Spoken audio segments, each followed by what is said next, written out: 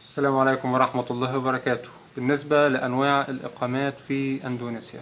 أول نوع من أنواع الإقامات هي إقامة العمل ودي بتطلع عن طريق إن أنت يكون معاك عقد عمل والمكان اللي هيعينك هو اللي بيتعامل في الموضوع وهو اللي بيطلع لك الفيزا وأنت بتقدر تدخل بلد عادي وتقيم طالما إن أنت شغال في الشركة دي. نوع الإقامة اللي بعد كده إقامة ال business ودي بتكون للمستثمرين اللي هم عايزين يفتحوا business أو يعملوا شركة داخل أندونيسيا وطبعا من ضمن شروطها وجود رقم معين داخل حسابك البنكي لأن طبعا المفروض إن أنت معاك رأس مال وجاي تستثمر فأهم حاجة الحساب البنكي بتاعك زائد طبعا عدد المساهمين في الشركة واسم الشركة.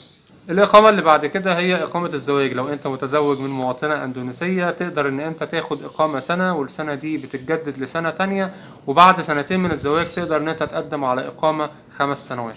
وفي بعد كده إقامة الدراسة. لو أنت طالب وبتدرس في جامعة أندونيسية فالمفروض إن الجامعة هي اللي مسؤولة عن إصدار الفيزا الدراسية الخاصة بيك. يعني أنت بتقدم لهم الأوراق وبتدفع المصاريف والجامعة هي اللي بتتكفل بكل شيء بعد كده.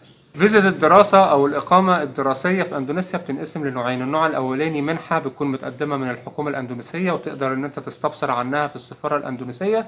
وبعض المنح بتشمل إن الطالب بياخد مصروف جيب في إيده. أما النوع التاني فمش بيكون منحة إنما أنت اللي بتدفع مصاريف الجامعة بنفسك بتراسل الجامعة وبتبعت لهم السي في وأوراقك.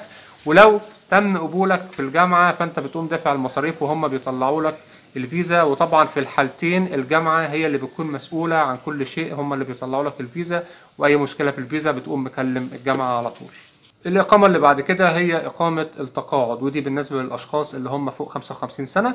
طبعا شروطها إن أنت بتمضي إقرار إن أنت مش هتشتغل أو مش هيكون ليك أي دخل داخل أندونيسيا لأن أنت جاي مش مستثمر أنت جاي وراجل متقاعد يعني هتقعد في البيت وتصرف وفقط. والشرط التاني إن أنت تعين عندك حارس أو خادم أو سواق أندونيسي. مهم إن أنت مواطن أندونيسي يكون شغال عندك. زائد طبعا زي ما قلت الإقرار إن أنت مش هتشتغل.